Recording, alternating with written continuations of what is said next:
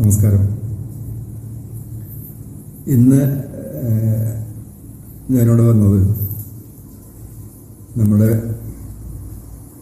ഒരുപാട് കുട്ടികളുടെ ഒരുപാട് കുഞ്ഞ് സഹോദരങ്ങളുടെ നീറ്റ് എക്സാം പതിമൂന്നാം തീയതി നടക്കാൻ പോവാണ്. ഓൾ ഇന്ത്യ ലെവലിൽ എല്ലാവരും ഒരുപാട് ടെൻസ്ഡാണ് എല്ലാവരും മീൻസ് ഇത് എഴുതാൻ പോകുന്ന കുട്ടികളെക്കാൾ കൂടുതൽ പാരൻസും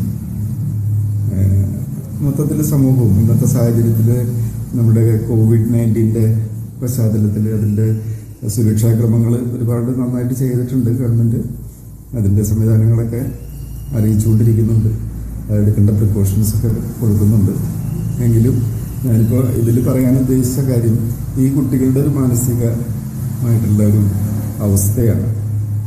അതിൽ അവർ ഒരു വർഷമായിട്ടോ അല്ലെങ്കിൽ അതിൽ കൂടുതലായിട്ടോ ഇതിനു വേണ്ടി തയ്യാറെടുത്തുകൊണ്ടിരിക്കുന്ന കുട്ടികളുടെ ആ ലാസ്റ്റ് പോയിന്റിലേക്ക് എത്തിക്കൊണ്ടിരിക്കുന്ന സമയത്ത് ഒരു സംഘർഷം ഒരു സ്ട്രെസ് അത് അവർക്ക് മാത്രമേ അറിയുള്ളൂ എന്ന് പറയും.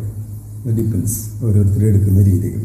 അതിന്റെ ചെറിയ ഒരു കാര്യം എന്ന് പറഞ്ഞാൽ ഒരു തരത്തിൽ പറയുകയാണെങ്കിൽ നമുക്ക് സ്ട്രെസ് വേണം എന്ത് കാര്യത്തിനും. ക്രിയേറ്റീവായിട്ട് എന്ത് കാര്യം ചെയ്യുമ്പോഴും നമുക്കൊരു സ്ട്രെസ് ഉണ്ടെങ്കിൽ മടിയില്ലായ്മ എന്ന് പറയാം.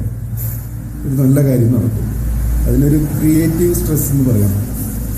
അല്ലെങ്കിൽ അതിന്റെ ഓപ്പോസിറ്റ് ഒരു ഡിസ്ട്രക്റ്റീവ് സ്ട്രെസ് എന്ന് പറയാം. നമുക്കൊരു ക്രിയേറ്റീവ് സ്ട്രെസ്സിലേക്ക് നമുക്ക് കൺവെർട്ട് ചെയ്യാൻ പറ്റുകയാണെങ്കിൽ ഈ കുഞ്ഞുങ്ങളിൽ ഉണ്ടാകുന്ന ഒരുപാട് മോശമായിട്ടുള്ള ചിന്തകൾ ഇത് സംഭവിച്ചില്ലെങ്കിൽ ഇതിലെന്തെങ്കിലും തോൽവി സംഭവിക്കുകയാണെങ്കിൽ നമ്മൾ എങ്ങനെയാണ് എങ്ങനെ ഫേസ് ചെയ്യുന്നത് അതല്ലെങ്കിൽ പേരൻസ് അതിലും കൂടുതൽ ആകാംക്ഷയിലിരിക്കുമ്പോൾ അതിന്റെയും കൂടിയിട്ട് വരുന്ന കുറേ കുഞ്ഞുങ്ങളുണ്ട്. അപ്പോൾ ഇവർക്ക് ഒരു പോസിറ്റീവ് വേയിൽ ഒരു കൺസ്ട്രക്റ്റീവ് സ്ട്രെസ് ഉണ്ടെങ്കിൽ വളരെ നല്ല രീതിയിലേക്ക് അവർക്ക് പോകാൻ പറ്റും. ജയവും പരാജയവും നമ്മളെല്ലാവർക്കും അറിയുന്ന പോലെ സ്വാഭാവികമാണ് എപ്പോഴും സംഭവിക്കുന്നതാണ്. അത് ജയിക്കുന്നവർ മാത്രമല്ല പരാജയപ്പെടുന്നവരും നമ്മുടെ കൂട്ടത്തിലുള്ളവരാണ് അല്ലേ? അപ്പോൾ അതിനെ അക്സെപ്റ്റ് ചെയ്യാൻ പറ്റുന്ന ഒരു മൈൻഡ് സെറ്റ് ഉണ്ടാവും വളരെ സിമ്പിളായിട്ടൊന്നും എടുക്കാൻ പറ്റില്ല അത്. പക്ഷേ ഉത്തരവാദിത്തപ്പെട്ട കാര്യം തന്നെയാണ്. ഒരു അതൊരു സേവനത്തിലേക്ക് ഇറങ്ങാൻ പോകുന്ന കുട്ടികളാണ്. അതിലേക്ക് കടക്കാനായിട്ട് ഒരുപാട് ആഗ്രഹിച്ച് ഇതൊക്കെ ഒരു കടമ്പകളാണ്. ഇതൊക്കെ ഒരു ഇതൊക്കെ കടന്നിട്ട് തന്നെയാണ് നമുക്ക് അടുത്ത സ്റ്റേജിലേക്ക് എത്താൻ പറ്റുള്ളൂ. ആരോഗ്യ പ്രവർത്തകരാവാൻ പറ്റുള്ളൂ. അപ്പം അതിനുവേണ്ടി അതിനു വേണ്ടി വരുന്ന ഈ സന്ദർഭത്തിൽ ഒരു കൺസ്ട്രക്റ്റീവ് സ്ട്രെസ് ഉണ്ടാക്കാൻ ശ്രമിക്കണം. അതിനുള്ള പ്രധാന വഴി ഏതൊരു കാര്യത്തിനും നമുക്ക് ഭയം വരുമ്പോൾ നമ്മുടെ ബ്രീത്തിന്റെ ആ ഒരു ഡെപ്ത് കുറയും. അപ്പം വല്ലാതെ ഉണ്ട് ശ്വാസം അടക്കി പിടിച്ചിരിക്കുന്ന ഒരു സംഭവം ഈ സംഭവത്തിന് മറികടക്കാനായിട്ടുള്ള ചെറിയൊരു ടെക്നിക്ക് നമ്മുടെ ഓക്സിജനേറ്റഡ് ബ്ലഡ് സർക്കുലേഷൻ കുറയുമ്പോൾ നമ്മുടെ എല്ലാ പ്രവർത്തനങ്ങളും കുറയും. സർക്കുലേഷൻ ഈസ് വെരി ഇമ്പോർട്ടന്റ് അല്ലേ? അപ്പോൾ അങ്ങനെ വരുമ്പോൾ നമുക്കൊരു ആ സമയത്ത് നമുക്ക് എവിടെ വെച്ചിട്ട് നടക്കുമ്പോഴും ഇരിക്കുമ്പോഴും എക്സാം എഴുതുന്ന സമയത്താണെങ്കിലും ചെയ്യാവുന്ന ഒരു കാര്യമാണ്. Take a deep breath and hold it for some time and breathe out ഇങ്ങനെ വരുമ്പോൾ എന്താ വെച്ചിട്ടുണ്ടെങ്കിൽ കംപ്ലീറ്റ് ഒരു റിലാക്സേഷൻ ഇൻസ്റ്റന്റ് ആയിട്ട് നമുക്ക് അവിടെ കിട്ടും. ഈ ബ്രീത്തിങ് ടെക്നിക്ക് എപ്പോഴും നമുക്ക് നല്ലതാണ്. പക്ഷെ അതിൽ കൂടുതലായിട്ട് ഈ സ്ട്രെസ്ഫുൾ ആണെന്ന് നമ്മൾ റിയലൈസ് ചെയ്ത അടുത്ത നിമിഷത്തിൽ തന്നെ നമുക്ക് അതങ്ങോട്ട് ചെയ്ത് കഴിഞ്ഞാൽ വളരെ ഈസി ആവും. പിന്നെ ഒരു കാര്യം ആലോചിക്കുക. നമ്മൾ പഠിച്ച കാര്യങ്ങൾ തന്നെയാണ് അവിടെ ചോദ്യങ്ങൾ വരുന്നത്. അതല്ലാതെ അവർക്ക് തോന്നിയ ആ നേരത്ത് ഉണ്ടാകുന്ന സംഭവങ്ങളൊന്നുമല്ല. അത് ആ നേരത്ത് വരും. എഴുതാൻ പറ്റും. സുന്ദരമായിട്ട്. ആ പഠിച്ച് പോയിട്ടുണ്ടെങ്കിൽ അത് വളരെ ശ്രദ്ധിച്ച് പോയിട്ടുള്ള കുട്ടികൾക്ക് തീർച്ചയായിട്ടും അത് അവിടെ വരുമ്പോൾ ഇതിനുള്ളിൽ കയറുമ്പോൾ ഒരുപാട് പരിഭ്രമമൊക്കെ ഉണ്ടാവും. ഇത് എനിക്ക് കിട്ടും കംപ്ലീറ്റ് ബ്ലാങ്ക് ആയ പോലെ ഒരു ഫീലിംഗ് ഉണ്ടാവും. എക്സാംസിൽ പൊതുവെ ഉണ്ടാവുന്ന കാര്യമാണ്.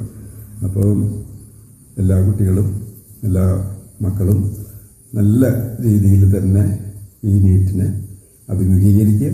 ഒപ്പം തന്നെ ഇപ്പോഴത്തെ സാഹചര്യത്തിലെ നിയമങ്ങളും ഒപ്പം നമുക്ക് നമ്മുടേതായിട്ടുള്ള ഉത്തരവാദിത്വം. ഒരു മെഡിക്കൽ എൻട്രൻസ് ആണത് അല്ലേ? ഇതൊക്കെ പറഞ്ഞു കൊടുക്കേണ്ടതും പഠിപ്പിക്കേണ്ടതും ഇനിയുള്ള ഇതുപോലുള്ള മഹാമാരികൾ വരികയാണെങ്കിൽ അതിനൊക്കെ ചെറുത്ത് നിൽക്കാനുള്ളൊരു ഒരു കടമ്പയിലേക്കാണ് നിങ്ങൾ പോകുന്നത്.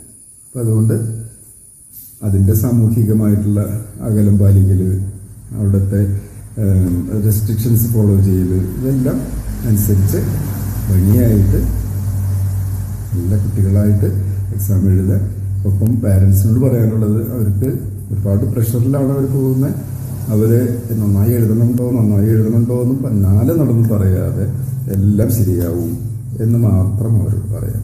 അവരെ നന്നായിട്ടൊന്ന് റിലാക്സ് ചെയ്യാൻ അനുവദിക്കുക. അവരുടെ കാര്യങ്ങളിൽ അവരുടെ സാധാരണ ഭക്ഷണങ്ങൾ ഔട്ട്സൈഡ് ഫുഡോ അങ്ങനത്തെ ഒരു കൂടുതൽ ഓയിലി ഫുഡോ അങ്ങനത്തെ കാര്യങ്ങൾ കൊടുത്ത് ഇത്രയും നേരം ഇരിക്കേണ്ടതാണ്. ഒരു മൂന്ന് മണിക്കൂർ എക്സാമിന് വേണ്ടിയിട്ട് നേരത്തെ റിപ്പോർട്ട് ചെയ്യണം. അത് കഴിഞ്ഞാലും പതിയെ അവിടെ നിന്ന് ഇറങ്ങാൻ പറ്റുള്ളൂ. ഇപ്പോഴത്തെ സാഹചര്യം. അപ്പോൾ അതുകൊണ്ട് തന്നെ അവർക്ക് വേണ്ട ഫുഡ് അത് ഈ ഇതിനുള്ളിലിരിക്കുന്ന സമയത്തുള്ള ഫുഡുകളൊക്കെ പ്ലാൻ ചെയ്ത് പാരൻസ് അതിന് വേണ്ടി ശ്രമിക്കുക. അമ്മമാരായിരിക്കും കൂടുതൽ ടെൻഷൻ അച്ഛന്മാരുണ്ട്. ഇതൊക്കെ കൂടിയതാണ്. എല്ലാവരും കൂടിയിട്ടുള്ള ഈ സമൂഹത്തിൽ അവർക്ക് വേണ്ട ആരോഗ്യവും അവർക്ക് വേണ്ട ഒരു ഒരു എനർജി മെന്റൽ എനർജി കൊടുക്കാനായിട്ട് നമുക്ക് ശ്രമിക്കാം. സർവേശ്വരൻ അതിന് വേണ്ടിയിട്ട് അവരെ അനുഗ്രഹിക്കട്ടെ. അപ്പം നീറ്റ് എക്സാം ഭംഗിയാവട്ടെ